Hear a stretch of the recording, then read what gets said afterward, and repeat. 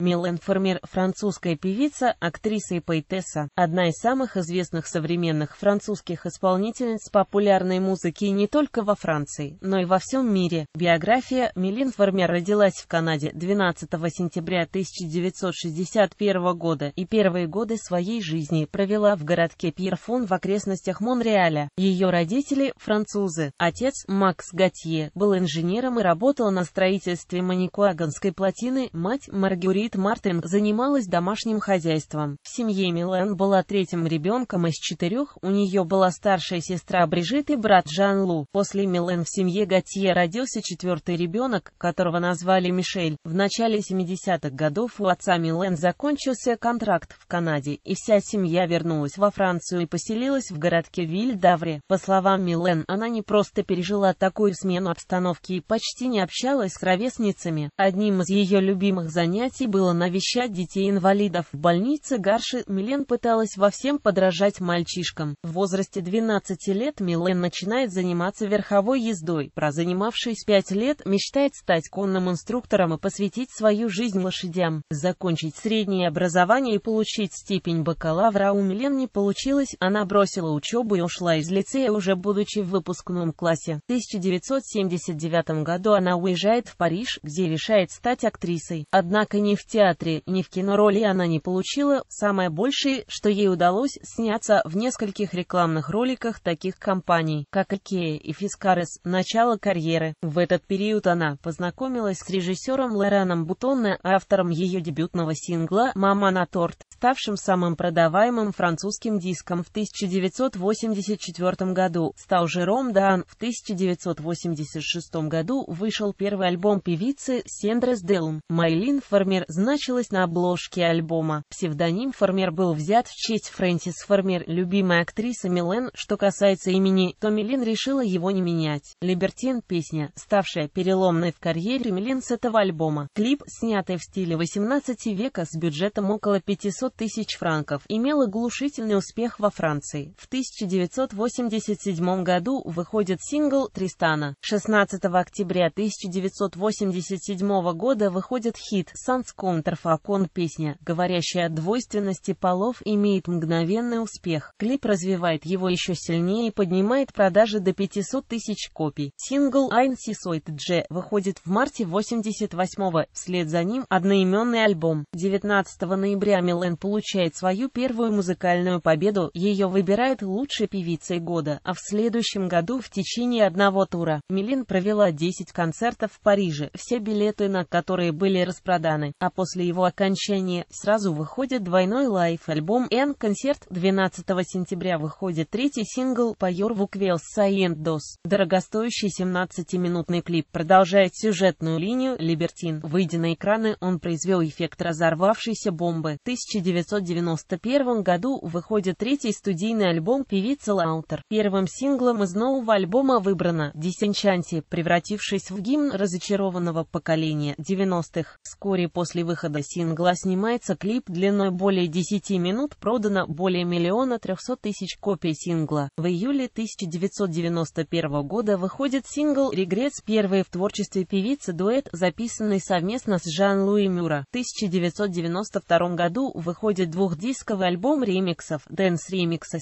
После выхода L'Autre Милен начинает сниматься в фильме Джорджина, вышедшем в 1994 году, «Anamorphosée». После провала Джорджина Милен уезжает в США. В Калифорнии Милен работает над новым альбомом «Аноморфоси» и полностью меняет свой образ и музыкальный стиль. В некоторых песнях еще есть следы прежней меланхолии, но основной тон альбома светлый, с чистым гитарным рок-звучанием. Турне в поддержку альбома также проходило в полном отсутствии мрачных готических декораций, только светлые декорации. С альбома было выпущено пятью синглов XXL, Linstant X, Калифорния, Ком Джаймал и Ревер Иномарамента. После турне 1996 года и выпуска видеоверсии концерта Live Fabercy наступило затишье, и только в апреле 1999 года Милен Фермер представила слушателям свой новый альбом Иномарамента. 21 сентября 1999 2009 года началось новое турне Милен Millennium Tour, которое было сделано с большим размахом и пользовалось успехом. Millennium Tour признан самым лучшим концертом-спектаклем за последние 30 лет на мировой поп-сцене. В рамках турне Милен Фермер посетила Россию с концертами в Москве и Санкт-Петербурге от 4 до 8 марта 2000 года. В 2003 году Милен опубликовала свою первую книгу «Лиза Луи. Сказочник». Философскую сказку проиллюстрировала сама певица Ализе. В 2000 году Фермер Бутонно искали молодое дарование для участия в совместном проекте. Вскоре они заметили начинающую певицу Ализе и предложили поучаствовать в проекте.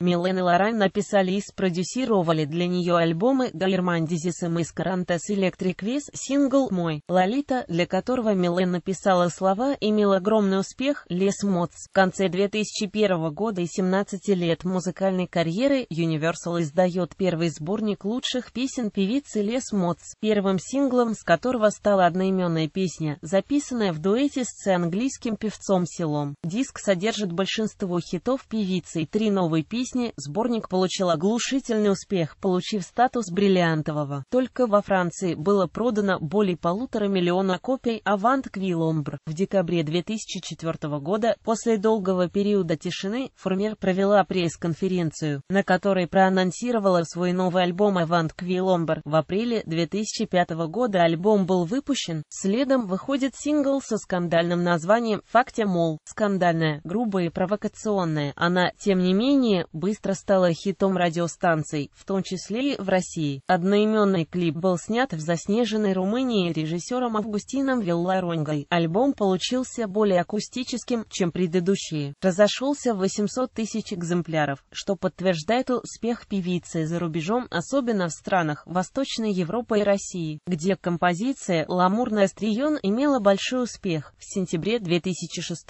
года Милен записывает дуэт с Моби «Sleeping Away». В январе 2006 года состоялась серия концертов Иван Квиломбер Аберси. Вскоре Милен озвучивает принцессу Селению в мультипликационном фильме Люка Бессона «Артур и Минипуты», а также для двух следующих фильмов «Артур и месть Урдалака» и «Артур и война двух миров». После этого Милен вновь уходит в тень, сообщив телеинтервью, что готовится к съемкам в фильме «Тень других руск» по роману Натали Реймс своей лучшей подруги Point de suture. В августе 2008 года вышел следующий, седьмой по счету студийный альбом Point de suture. В марте 2008 года были объявлены концерты на 11 и 12 сентября 2009 года на парижском стадионе Stade de France. Также были объявлены концерты в Женеве на стадионе Stade de Genève. Концерты в России прошли в Санкт-Петербурге и в Москве. 12 апреля 2010 года на базе двух вечеров Stade de France был выпущен концертный DVD Bleu Noir. Осенью 2010 года появилась информация о выходе в свет нового, восьмого по счету студийного альбома Милен. 6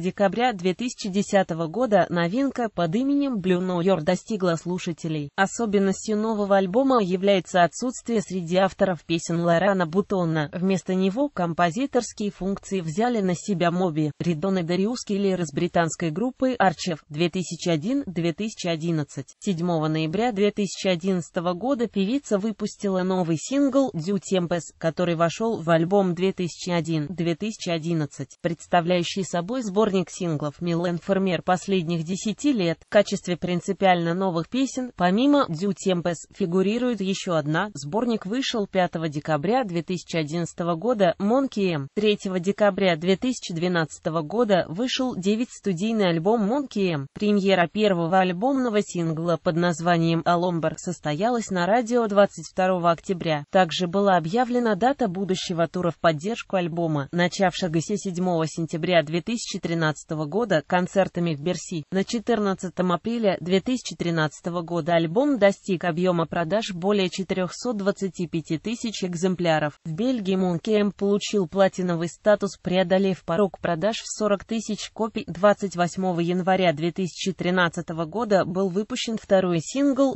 Eddie Stout. 7 сентября начался тур Timeless 2013, состоящий из 39 концертов. 7 октября вышел третий сингл Monkey Me. 9 декабря 2013 года вышел концертный альбом Timeless 2013 и первый сингл с него Diabolique mon ange Interstellaires. 6 ноября 2015 года вышел новый десятый студийный альбом под названием Interstellaires, который вошла исполненная в дуэте со Стингом кавер-версия его песни «Stolen Car» из альбома 2003 года «Sacred Love». Первую же неделю сингл стал лидером продаж во Франции. Дискография, студийный альбом и Сендрес де Лун, Анси, Сойт Дж, Лаутер, Анаморфоси, Иномарамента, Аван, Квиломбер, Пойнт, Десачер, Блю, Нью-Йорк, Монки М, Интерстеллирес, концертный турель, тур 89, тур 1996, Де Майлин, Формер, Майлиниум, тур, Авант, Квиломбер, Аберси, турни 2009, Тимейлес 2013. Фильмография, Джорджина, Артур Минипуты, Артур и месть Урдалака, Артур и война двух миров. Библиография.